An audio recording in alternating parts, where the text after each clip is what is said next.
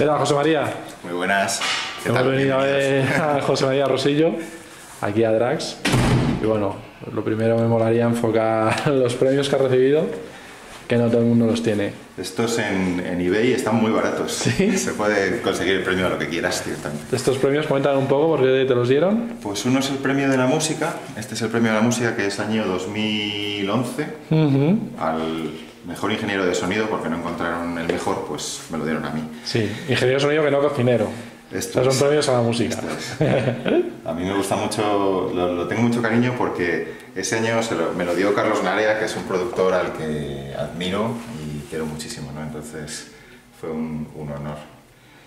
Y los otros son los Grammys, que son, de, son Grammys latinos del año pasado, del 2014 y los dos son por el mismo disco, es por, por Bailar en la cueva de. Perdón, por Universos Paralelos. Por el disco de Jorge Es que es lo malo de estar usando siempre títulos de trabajo que no son los, los definitivos. No me acuerdo cómo se llama el disco. Pero los dos son por el, por el disco de Jorge Drexler, que es, bueno, también es un gran artista y es amigo y hemos trabajado juntos en este disco. Muy bien, pues cuéntanos si eres un poquito la historia de Drax y cómo llegaste esto aquí. Vale, pues bueno, Drax es, es, lo que antiguamente eran los estudios Eurosonic. El edificio es el mismo y pues la andadura de Drax lleva casi cuatro años ya.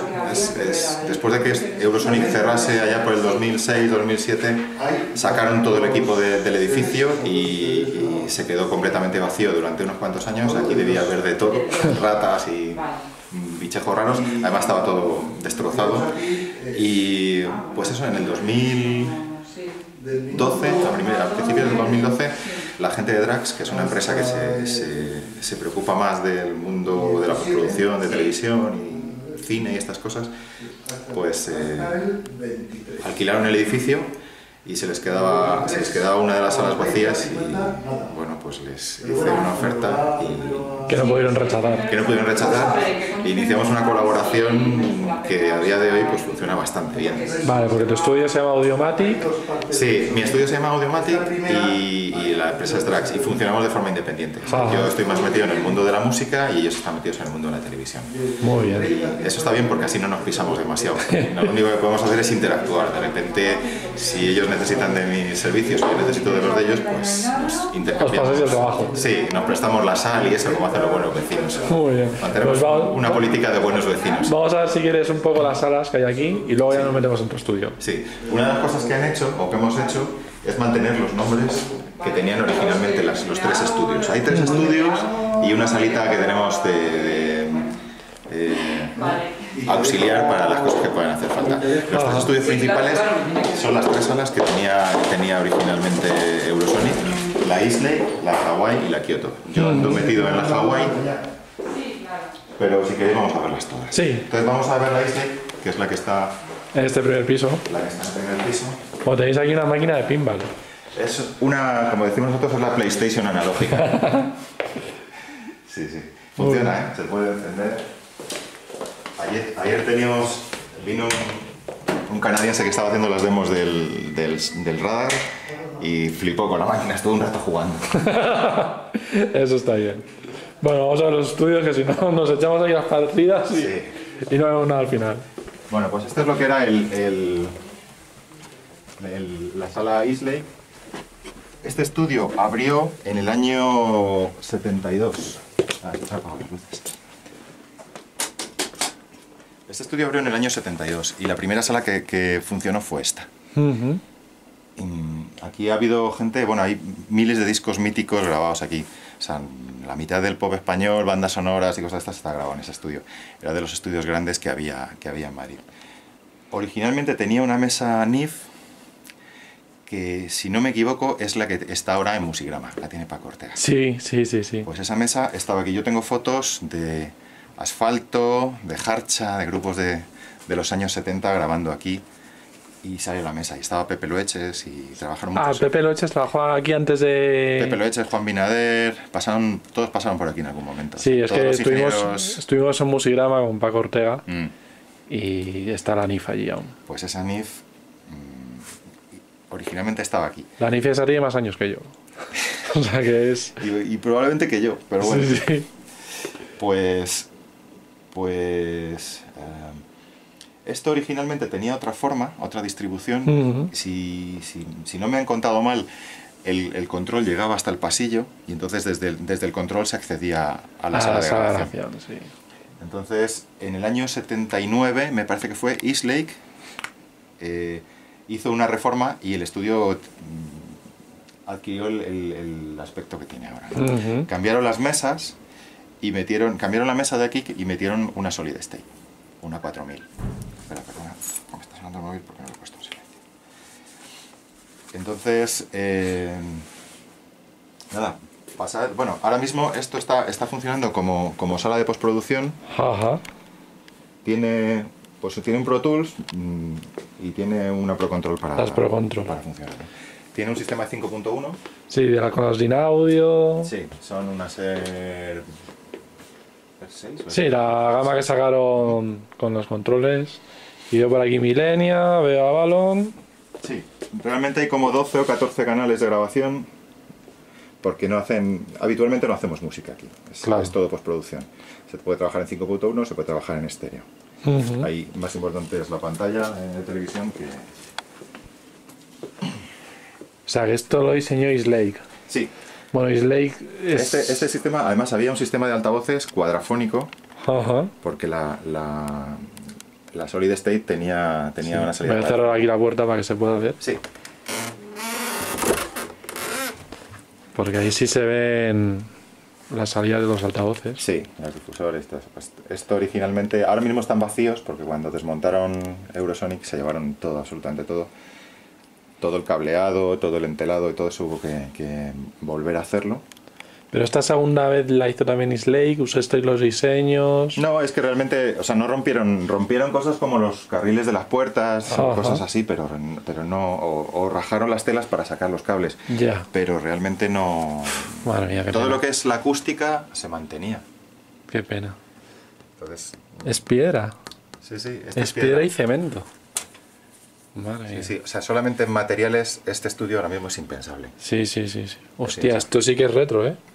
Estos son los mandos del Enterprise. Sí, sí, esto sí que es Estos retro. son autotransformadores, esos son dimmers. Sí, sí, pero de los que se hacían antes. sí, sí, sí, sí. Que es una puñeta porque no, no nos deja poner iluminación LED, porque no funciona. Claro, no funciona. Entonces andamos ahí un poco a ver cómo lo, cómo lo solucionamos. Vale, vamos a ver si quieres la sala de Sí. grabación. Esta es la sala más grande que hay aquí. Esta es la sala más grande, de hecho son, son dos salas y media. Originalmente pues aquí había un piano y había un órgano y instrumentos y ahora mismo está vacía porque bueno, es más polivalente así para el, el- el uso que le están dando, ¿no? Es muy seca. Sí. Tiene, esta es la sala seca y, Y esa es la sala brillante, ¿no? Y luego tenía esta pequeña cabinita, que son muy al uso de lo que hacía Islay, ¿no? Una cabina que probablemente al principio, yo, no llegué- yo la vi siempre cerrada, yo trabajé cuando esto era Eurosonic, trabajé bastante aquí, pero siempre la vi cerrada. Probablemente en algún momento estaría abierta y la cerraron porque para meter pues, a un cantante o una, una guitarra o alguna cosa de estas siempre era útil, ¿no? De todas las entrevistas que hemos hecho a gente extranjera, Dave Hawkins es el que mejor nos recibió la entrevista. Es el que se prestó totalmente, el que más juego nos dio en la entrevista.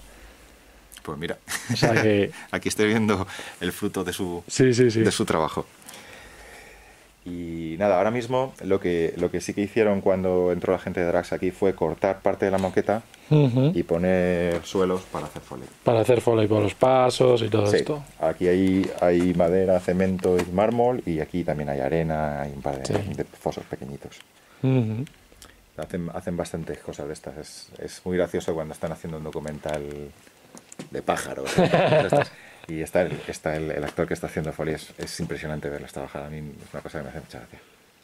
Sí, sí, sí. Y a ver la sala brillante, a ver cómo suena. Bueno, ellos en la cámara no lo van a notar, pero yo sí. Vamos a ver. Pues, las- pues a ver, qué, a ver qué, qué opinión me das de la, de la sala brillante. Tiene una cosa que a mí me encanta, que es esto. No, no tiene estacionarias, no tiene ondas estacionarias. Es una reflexión muy controlada. O sea, Sí. esto es brillante, pero no, es un, no Claro. se desmadra como pasa en otras salas brillantes. Sí. Entonces es...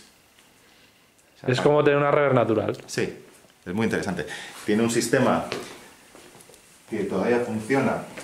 Tiene un espejo aquí detrás y un ah, para, controlar la cantidad de... Para cambiar un poco las condiciones acústicas. Sí, sí, sí, sí. Queramos que haya más reflexión o menos. Hostia, y estos son conectores de los que... Probablemente son conectores Canon. Sí, pero estos son originales. Canon, originales, sí. Porque madre mía, ¿eh? en algunos hemos mantenido los, los patch originales. Sí, sí, sí, Yo arriba, por ejemplo, los he cambiado porque fallaban bastante los conectores. O sea, tienen, tienen, están sucios y todo eso. aquí sí que hay historia, ¿eh? Metida. Sí. Una partitura aquí. Esto no sé quién está grabando, debe ser ah, pues la una última grabación que han hecho que ha sido un, un cuarteto, un quinteto de cuerda. Mm. Y una de las cosas que hacemos, aprovechando que esto está así, es usarlo como un pequeño plato. Entonces, eh, se usa para, para, televisión, lo usan, para TCM, para canal TCM hacen muchas cosas aquí. Y, y, hemos estado haciendo el año pasado y vamos a volver a hacer una especie de mini conciertos eh, con, con, pues se pueden hacer con público, se pueden hacer sin público. Ahora vamos a hacer una serie de, historias, algo parecido a lo de un lugar, llamado Mundo, con una marca que no puedo revelar ahora mismo. lo haremos en su momento. Que lo veréis y, pues vamos a usar esto para montar un pequeño set que, que permita a la vez estar tocando y, estar grabando Muy con cierta amplitud. ¿no? El año pasado hacíamos una cosa para Terra, que eran unos conciertos, ponían aquí delante al grupo a tocar y de ahí para allá ponían 20 o 30 personas de público. Sí, como los conciertos de Radio 3, por ejemplo. Tipo eso, pero con la gente sentada. y, pues, y luego lo que hacían era muy, muy gracioso porque estas ventanas usaban estos bastidores y retroiluminaban, entonces quedaba la parte de atrás que era Ah, en plan difuso. Debe estar colgado en, la página de Terra en algún lado. Y venía pues, vino Chenoa, vino Baute, Carlos Baute, vino Iván Ferreiro, pasó la habitación roja, eh, Miss Cafeína, los Sidecars, pasaron un montón de bandas por aquí. Un montón de gente. Y era muy divertido, se montaba un pollo. Muy bien. Un pollo interesante. Es un mini platón, ¿no? Sí. Ah, mira, y te indica que son de 220 voltios. Claro, que cuando esto se construyó, habría también tensiones de 125 aquí en España. no me extrañaría que, que Qué curioso. Luego las, las, mangueras de señal, ahora mismo no sé cuántas hay, pero en las de arriba cuando yo las saqué, mm, no ahora mismo eh, todo funciona en, de 4 en 4, de 8 en 8, de 16. Las que, había, las que hay arriba son de 6 de seis pares. Ah, claro, ahora son múltiplos de 4, 8. Sí, pues estas no, estas son de 6. Es una cosa un poco, no sé, igual todavía no estaba muy estandarizado, no, no se ponía claro. de acuerdo. En... Joder, es que esto es algo que me recuerda a Musigrama. Es que también es un diseño. Se debía hacer por la misma época, ¿eh? ¿eh? seguramente. ¿De qué año es Musigrama? No lo sé. tiene ya muchos años. Mm. En la entrevista no lo dijeron, pero ya no me acuerdo. Son tantas entrevistas al final que... Este control tenía otra cosa, que yo lo sufría más en la época de, Eurosonic, que es que dentro del control no había cobertura. Y es porque hicieron una, campana de, Gauss. No, hicieron una campana de Gauss. La, la, leyenda que me han contado es que en, en, épocas en épocas del régimen anterior pues había había una emisora en la Avenida de América o, por ahí. Ah, una emisora ilegal. Había, había una emisora que tapa, estaba tapando emisoras ilegales. Lo que hacía era emitir en la misma frecuencia para ah. tapar. Y entonces creaba problemas de, de, radiofrecuencia. Sí, que se colaban. Había, había interferencias y lo que hicieron fue forrarlo de plomo. Claro, claro. Entonces, aquí dentro antes no había cobertura de teléfonos. Ahora con el 3G y todo eso pues, llegan, pero llega mal. Ya, ya, ya. Llega mal. Porque debieron intentar aislarlo para evitar. Qué curioso. Mm. Ahí hay un par de placas también, de un par de, premios que le dieron al estudio por, no sé, por, por ser los mejores. Sí. Y lo que es interesante es ver que está todo para evitar superficies paralelas Mm. O sea, es que desde aquí no se aprecia bien, yo sí lo veo, pero está todo con una determinada inclinación. Luego hay dientes de sierra en las paredes. Evitan todo para romper paralelismo, sí. Sí, sí, y aquí, como este es más antiguo, el techo es relativamente paralelo. Ahora cuando vayáis arriba a la Hawái, cuando vayamos, eh, veréis que, que, ahí también el techo han cambiado alturas y eso todo para... La verdad es que las dos salas tienen una acústica excepcional. Sí, la verdad es que sí. Aquí... Pues vamos a verlo si quieres. Sí.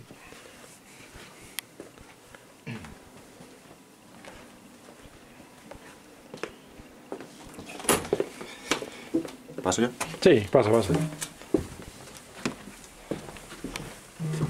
Esto mejor os lo enseño. Esto es, esto era la sala de máquinas antigua del, de la sala Islake. Ahora mismo es el departamento de I D, el taller. Taller. está hecho un desastre. Mejor no, mejor no lo vemos. Y en la planta de arriba está la sala Hawaii, que yo, y la, la sala Kyoto, que es la última que se hizo.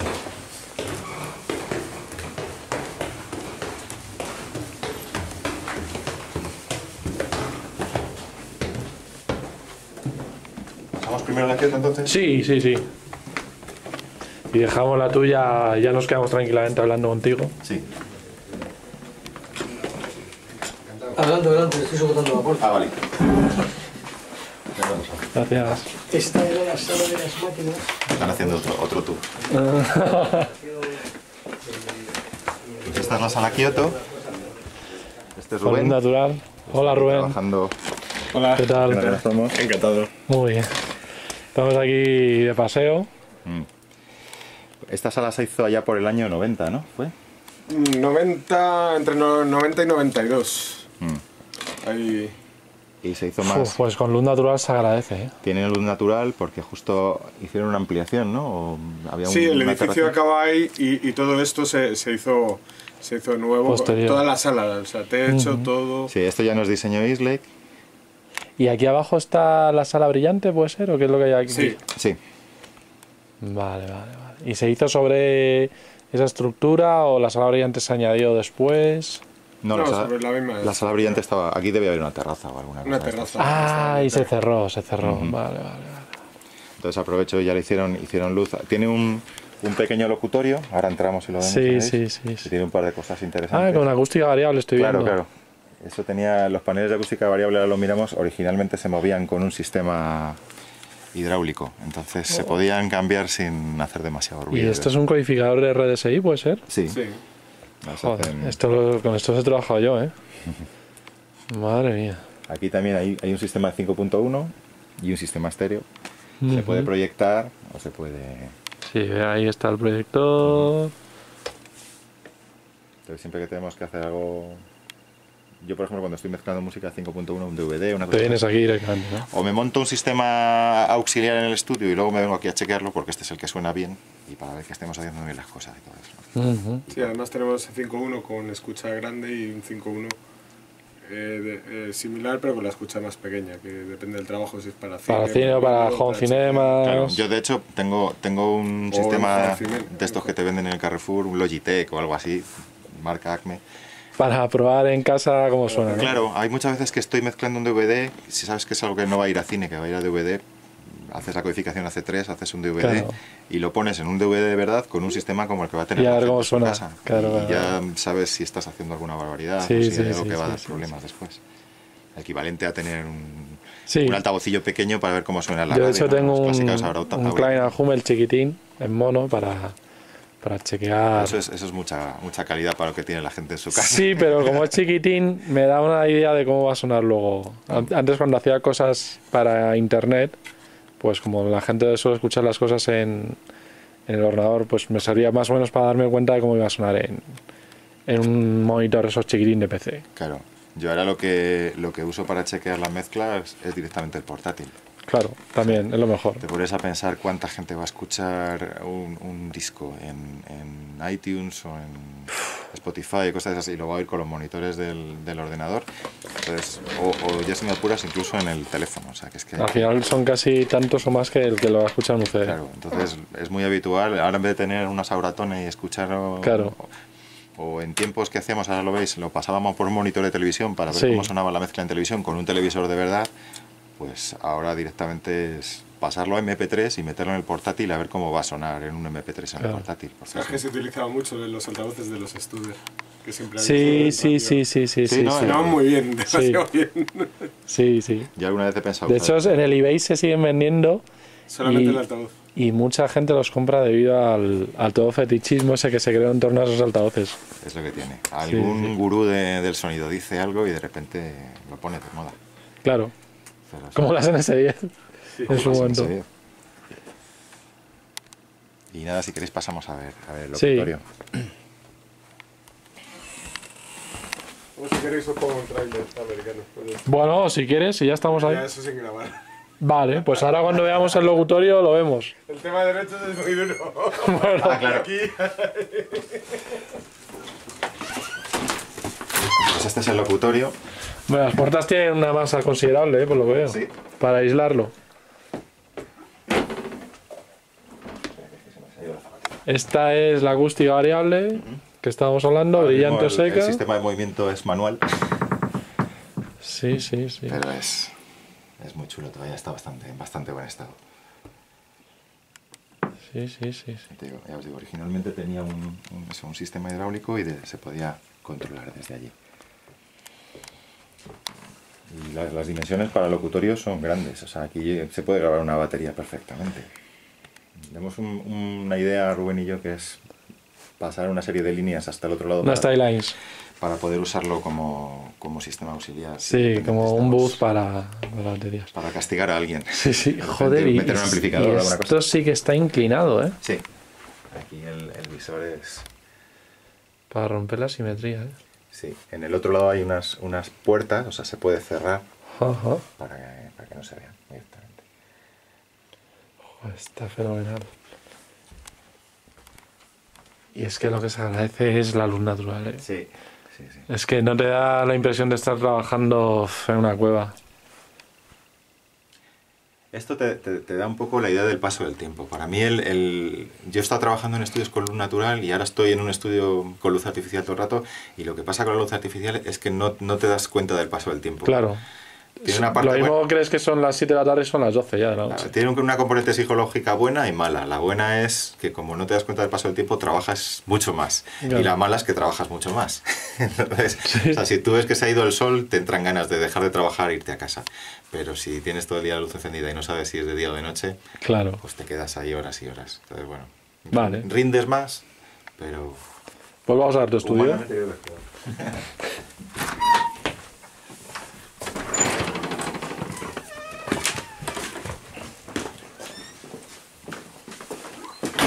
Esto que hay aquí era la sala de máquinas original del Hawái. Ahora mismo está de almacén, no lo saques Sí. mucho, que está todo manga por hombro. y esta es la sala Hawái. Y esta es en la que estás tú. Sí. El nombre de la sala es curioso porque la leyenda dice que, que se llama así por un disco de Mecano, por una canción de Mecano que se grabó aquí, que fue el descanso dominical. Entonces, Hawái Bombay se hizo aquí. Ah, pues mira, la historia que tenemos. Vamos, para mí se hicieron muchas más cosas, pero bueno. Sí, sí, sí. Aquí en tiempos grabé un montón de discos y, y es, es muy curioso porque la mayoría de la gente que viene por aquí y todo el mundo cuenta historias. Ah, pues aquí yo grabé no sé qué. Y poco a poco Te vas enterando la historia de enterando. Sí, sí, sí. Sí, sí. Pues muy bien, pues vamos a ver las maquinitas que tienes y nos cuentas un poco cómo las usas. Vale, todo el sistema está basado en, en una mesa analógica y en Pro Tools. La mesa analógica es una AVS 900 de, De Solid, Solid State, State. 24 canales, no es inline, pero son 24 canales completos y a la vez es controladora de Pro Tools vía Huey. Entonces es, tiene lo mejor de los dos mundos. O sea, puede, Sí. puede funcionar para controlar Pro Tools en una de las capas y en la otra son canales de mesa analógica convencionales. Qué bueno. Entonces es, es un, es un buen cacharro. Con, con igualización y dinámica por canal, ¿no? Sí, el- el- en teoría el previo es el de la 9000 Ujú. y lleva ecualización por, por canal, pero no lleva dinámica por canal. Solamente tiene dos canales de dinámica, Ah, que los tiene en el módulo sí, master, sí. y son asignables a cualquier canal. Vale, que es el compresor eh, bus, el típico. No, tiene el bus Ah, vale, vale, vale. y luego este es, este es un canal de dinámica de los de Solid Sí, State de la vida sí, sí. y este es otro. Vale, vale, vale. Entonces estos se pueden asignar a cualquier canal Ujú. y se puede utilizar. Tiene dos buses estéreo de salida y 8 buses para hacer grupos y cosas de estas. Ah, Entonces es muy, muy flexible. Es, para mí es, es un buen compromiso entre una mesa de formato grande y un sumador de los que venden ahora. Que, claro, o sea, lo puedes utilizar como sumador, pero lo puedes utilizar para muchas cosas más.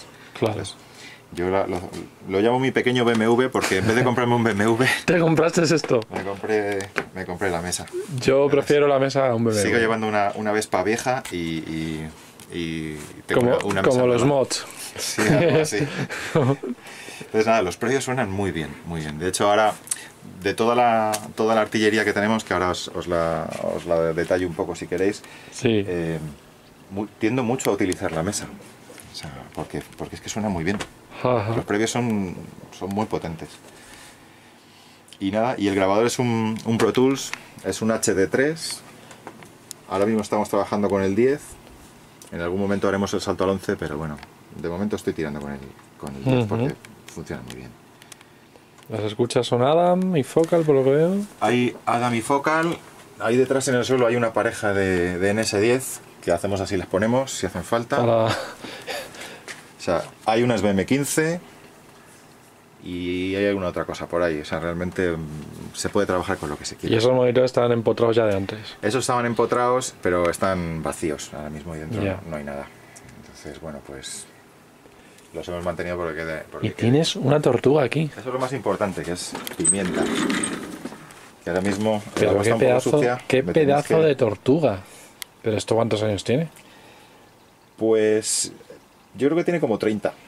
30 años. Sí. ¿Y, la, ¿Y ha estado contigo toda la vida? No, a mí me la, yo la adopté porque la iban a tirar al río y como es especie invasora, pues dije no te preocupes.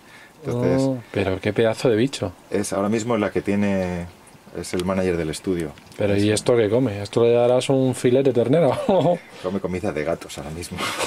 es una tortuga gato. Pero es impresionante. Esto es, esta desde las tipo Florida. Jamás en mi vida había visto una, tortuga de este tamaño. Sí, sí, es, es ya mayorcete. Es, es un poco abuelita. Entonces está, está ahí en el tanque la pobre, pero bueno, ha escuchado muchos discos.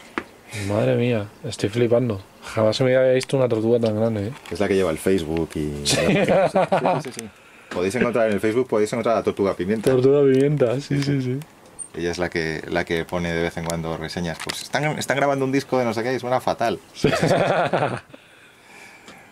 Tienes muñequitos de Star Wars, todo muy retro, ¿eh? Sí, tengo ahí un postercillo también, Sí, que es una especie de quiño, porque es, es un facsímil de, de un cuadro que tenía Lennon en su casa, con el que escribió la letra de una canción que es For the Benefit of Mr. Kite. Entonces es una Ah, especie de póster de los Beatles, pero Sí, sí. escondido. Y verías por aquí un montón de atrezos, libros. Bueno, hay, hay revistas de, mus- de sonido y de música, hay, hay un par de cacharros antiguos, un par de ecos de cinta. Joder.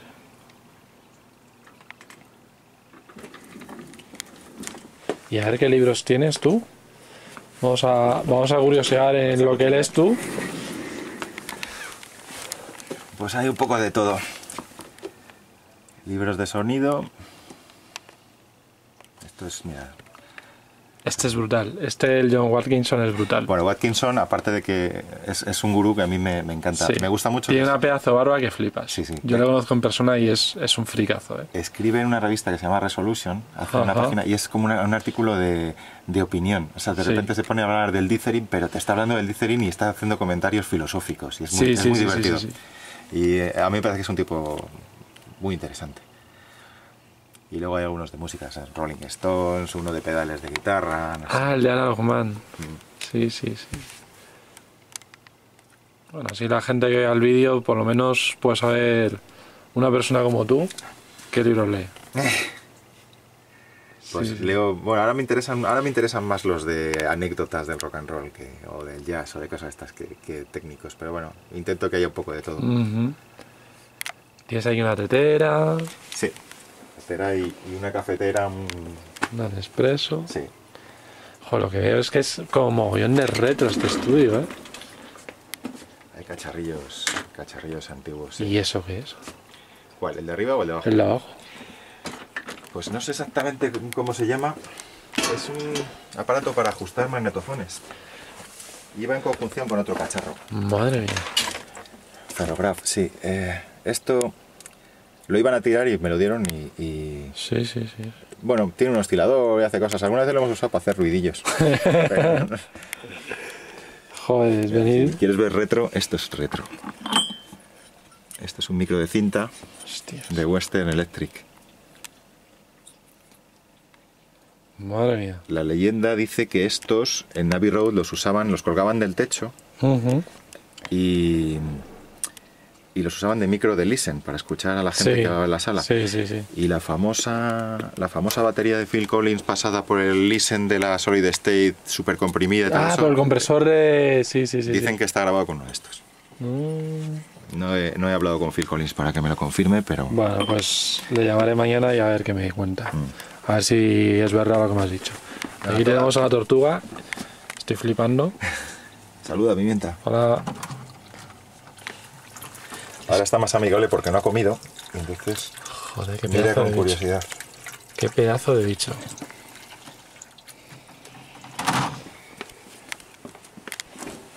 Vale, pues cuéntanos un poco tus cacharrines si quieres y luego, bueno, vamos a ver la sala Vale, para que la gente la vea y luego hablamos de cacharrines.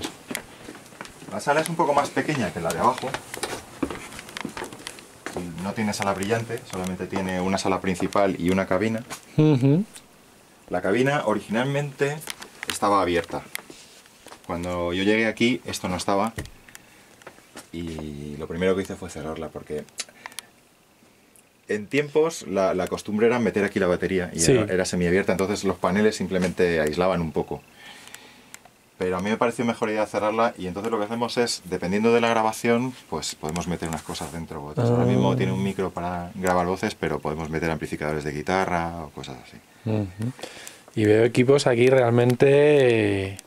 Hostia, Sinmar, madre mía, esta era la marca española que hacía amplificadores de válvulas de guitarra. Sí, este es un. Esta es una especie de copia de un Bassman, de un Fender Sí, Bassman. sí, sí, sí, sí, sí, sí. Con un, con un altavocillo, un baffle que está firmado por los Remains. Hay un poco un punto mitómano en todo el, en todo el estudio. ¿Sí? Entonces, sí, yo soy muy mitómano para estas cosas. Este está firmado por los Remains. Los Remains es el grupo eh, que teloneó a los Beatles en su último concierto. Un grupo americano. Y tocaron aquí y usaron esta, este altavoz. Entonces les pedí que me lo firmaran, claro. Qué bueno. ¿Y este es un JMP, MP, el Marshall este? Esto es un El Super 1900... Lead Plexi. Un Plexi, ¿no? Madre mía. Esto es como los que lleva Jimi Hendrix, ACDC y toda esta gente, ¿no? Mm, Suena muy bien. Sí, sí, sí. Entonces es un poco más sonido Fender, un poco más sonido Marshall. Sí. Hay Un un box Este es un box del 65, AC30 puede ser o un Top? Boost hace 30, sí, Como el de Brian May. que suena muy bien. Hay un Twin Reverb, Madre mía. Pero en esta yo nunca la había visto, en esta madera tan oscura. no, porque en algún momento alguien le quitó la, Ah, la tela original y lo, lo pintó, vamos, lo barnizó. Pero eso es... tuve train, esto no lo he visto yo. ¿Qué es esto? Esto es un... Es una válvula de muelle, o sea, una válvula, un, un tanque de, de reverberación, un muelle. Ah, sí, sí, sí, sí. Es un muelle con, lo- con un previo de válvulas. Ajá. Pues ya está. Esto es otro amplificadorcillo. Hay un par de cosas que no están por aquí ahora. Rickenbacker. Sí, esto es parte del, de la jugar del estudio. Tenemos, hay algunas guitarrillas, hay bajos, como para que, bueno, los músicos suelen traer su equipo, pero si de repente necesitan alguna cosa, pues Un piano. hay un piano blanco, solamente se puede tocar Imagine o cosas así con cosas de Richard Clayderman. El piano blanco. John Lennon. claro. y este piano no, no perteneció a Alec Baldwin, ¿no? Por lo que veo. No, Aunque la marca es Baldwin, no. es Baldwin, es una marca americana. Sí. Es un piano normalito, no voy a, no voy a decir que es un gran piano, pero las veces que necesitamos mm, grabar un piano grande, lo que hacemos es meterlo abajo. Ah, Aquí como estamos en la planta de arriba y hay que subir por la escalera y no tenemos montacargas, uf, es complicado subir un piano grande, si no imposible. Entonces, mm, si hay que utilizar, hay que grabar un Steinway, alquilamos un Steinway, lo metemos abajo y lo grabamos abajo. del tirón. Lo hemos hecho con, lo hicimos el año pasado o el antepasado con Concha Huica, por ejemplo. Ah, sí, sí, sí. El disco de Concha Huica. Y hay un Hammond. Hay un órgano Hammond, un B3. Madre mía. Este también tiene su parte mitómana, pero no os la puedo enseñar ahora. La parte de atrás, la placa, está firmada por tres superorganistas. Uno es Ian McLagan, que era de los Small Faces, los Faces, los Rolling Stones.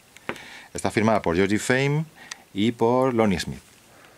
Tres superorganistas que lo han utilizado. Este pertenecía a una empresa backline, a Colin Play, Ujú. y lo han utilizado en, en festivales de jazz y cosas sí. de estas. Entonces tienen la costumbre de que la gente firme, Joder. firme los órganos. Suena muy bien. ¿Y esto es un Leslie?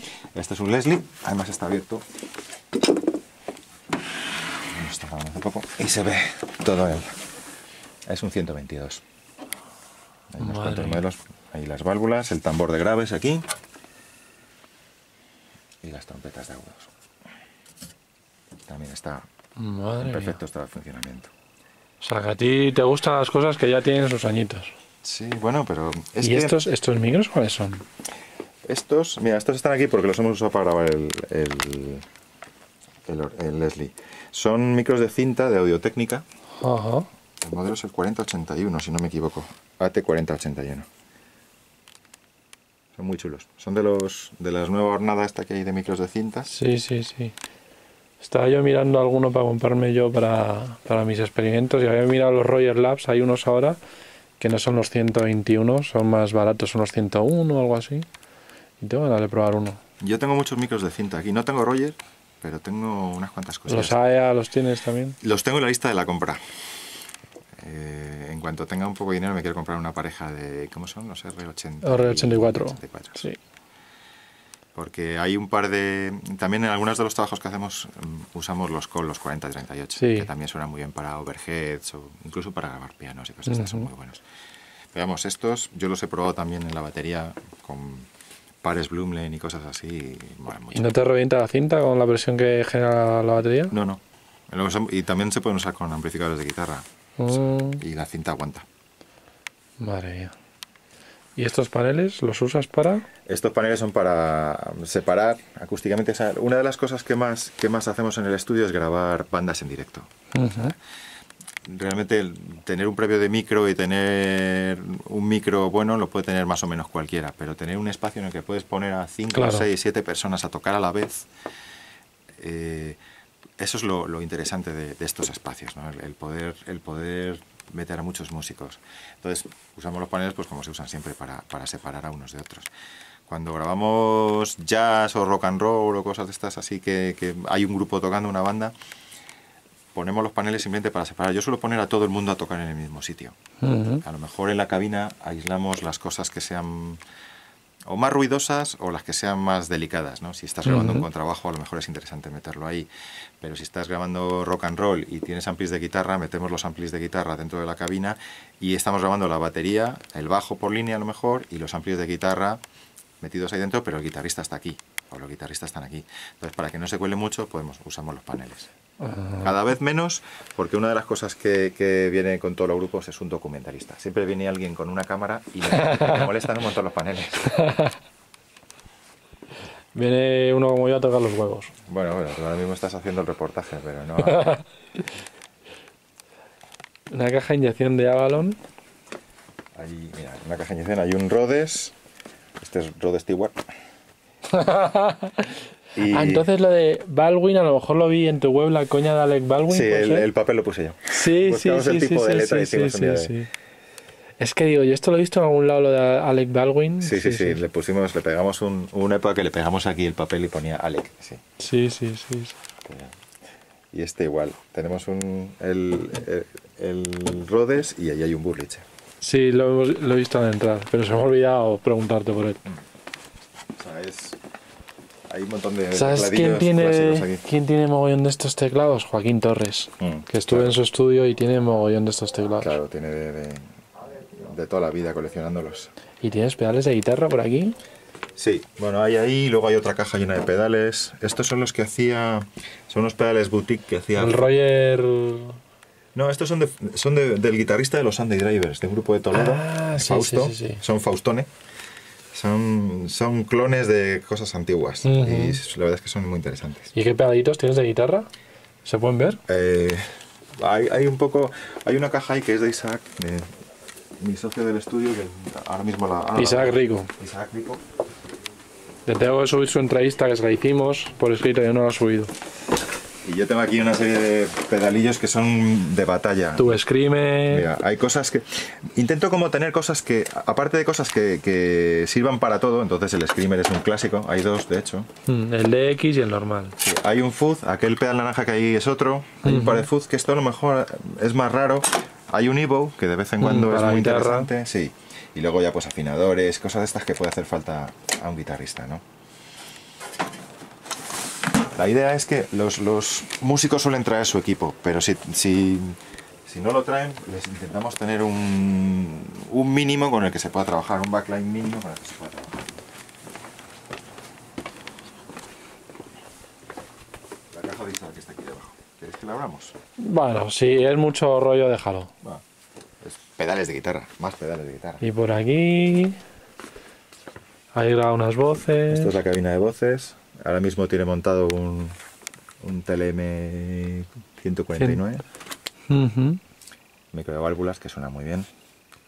Tenemos también tres U67. Hay unos cuantos micros de válvulas. No sé.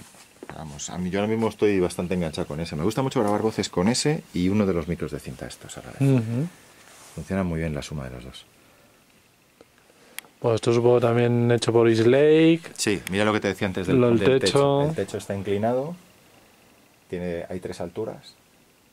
Bueno, hay tres, Sí. tres- como tres niveles, pero está, está Eh, aquí en la cámara no se aprecia bien, pero sí. Mira, ahí sí se ve un poco. Ahí sí se ve. Que sube. Muy bien, pues vamos a ver los cacharros que tienes aquí. Ah, otra, cu- otra curiosidad. Este espejo, Sí. todo el mundo siempre me pregunta, ¿qué hay detrás? Este espejo es también acústica variable. Ah. Se puede quitar y entonces hay una trampa de graves. Todo esto es una trampa de graves. Ujú. ¿Y sabes exactamente qué grosor tiene? Rubén lo sabe. Porque, Ah. porque una de las cosas es que aquí detrás está, hay un, una ventana que es donde está el logotipo de Drax que hay en la calle. Ah, vale, vale, vale. Realmente ti- tiene su función. Es por aquí, es por donde en su día entró el piano y la Solid State. y Vale, por donde vale. salieron después. Vale, vale, vale. Porque no se podían bajar por ni subir, bajar por la escalera. Entonces ¿Y el equipo Eurosonic, tú sabes a dónde se fue? se lo llevaron a un almacén. Poco a poco se fue distribuyendo, vendiendo. Alguna cosa debe quedar por ahí. La verdad es que no sé dónde está todo. Abajo había dos placas de reverbs. Ujú. Dos reverbs de placas, perdón. Las dicho placas. MT 140, algo de No, eso. no sé exactamente qué modelo era, pero una la tiene Boria Alarcón y Ujú. la otra la tiene Carlos Raya. Ah, pues mira, dos personas a las cuales eh, íbamos a proponerles entrevistas. Sí. En la lista. sí, sí, sí, sí, sí. Y luego hay algún cacharrillo raro como el, un armonio hindú, no sé. Alguna otra cosa que tiene que haber en el almacén por ahí. Ujú. Muy bien, pues vamos a ver ya la cacharrada que tienes por aquí. Bueno, un SM7 Sí, los micros están todos ahí guardados, pero... y aquí uno de Este es un un- Neumann un KM84. Sí. Ajá. Esta noche estaban grabando guitarras flamencas y, y la estaban usando.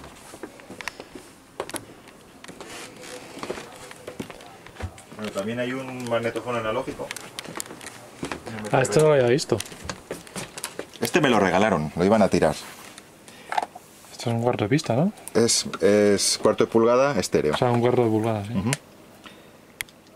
Y ahora mismo lo estamos, lo estamos usando bastante porque me- estamos remasterizando discos antiguos para sacarlos en vinilo. Sobre todo Sí. Warner está haciendo muchas cosas. Entonces, por aquí ha pasado discos como El ritmo, el ritmo de garaje de Loquillo, Ujú. que además es muy curioso porque cuando me trajeron el máster, el de los tonos de ajuste que se, que se grababan al principio de la cinta, noté algo raro y estuve saqué una aplicación del iPhone que me decía mm, los hercios y vi que el tono de ajuste iba más rápido, o sea, era más alto, eran más de 1000 hercios, Sí, con lo cual la velocidad de la cinta estaba mal.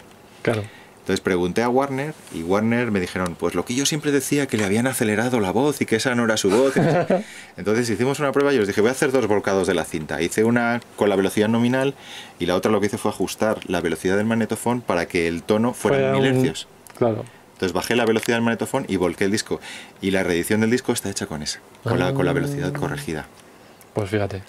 Entonces, Mira, de anécdotas estamos aprendiendo muy una cosa curiosa de... Sí, eso pasaba más veces. Yo he leído eso de algún single de Rolling Stones y cosas así. Entonces, bueno, Ahora estamos, hemos hecho eso, hemos hecho Miguel Ríos, eh, estamos con los hombres G, que están ahora cum- cumpliendo 30 años de, Ujú. de dar la lata y cosillas de esas.